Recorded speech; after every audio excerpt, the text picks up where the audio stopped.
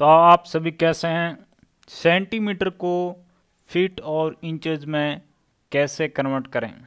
How to convert centimetre to feet inches step by step पूरी जानकारी रहेगी तो आप इस वीडियो को मैं उम्मीद करता हूँ कि पूरा देखेंगे।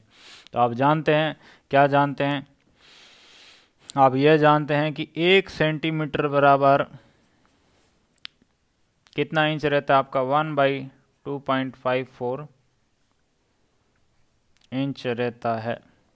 पहले इसको हम सेंटीमीटर वैल्यू को इंच में कन्वर्ट कर देंगे, उसके बाद फिट में कन्वर्ट करना आसान हो जाएगा। तो देखिए, हम देखते हैं यहाँ पर, जैसे 165 सेंटीमीटर है, इसको हमें इंच में बदलना है तो क्या करेंगे? देखिए, यहाँ वन है तो यहाँ वन आ रहा है। यदि वन की जगह यहाँ कितना आ गया? सिक्सटी फाइव तो यहाँ भी कितना आ जाएगा आपका? सिक्सटी फाइव यानी सेंटीमीटर वैल्यू में जब हम टू पॉइंट फाइव फोर का डिवाइड करते हैं तो वो किसमें चली जाती है आपकी?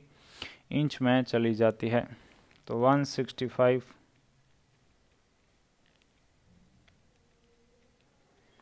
तो यहाँ से आपके पास कितना आ गया देखिए, sixty four point nine six zero six inches. अब आप कहेंगे, सर, हमें फिट में बदलना बताइए, अभी बता रहा हूँ, देखिए। आपका, देखिए, आप जानते हैं, क्या जानते हैं? देखिए, जिस भी यूनिट को बदलना है इंच को फिट में बदलना है तो हम क्या बात करेंगे? एक इंच बराबर फिट वैल्यू की बात करेंगे। एक इंच बराबर कितना रहता है? वन बाई ट्वेल्व फिट रहता है।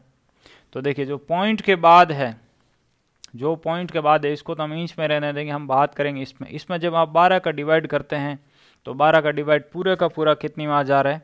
बारह पुण्या साठ। पाँच बार पूरे का पूरा जा रहा है, चार आ रहा है सेंस फल।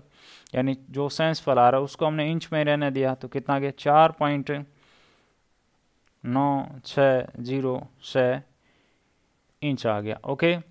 अब कुछ विद्यार्थी कहेंगे, सर, हमें तो ऐसे समझ ही नहीं आया। तो वो ऐसे समझिए कि जैसे 64 है तो 64 को हम क्या लिख सकते हैं?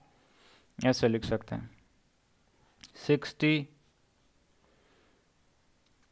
प्लस फोर लिख सकते हैं। ये ये भी इंच में है, ये भी इंच में।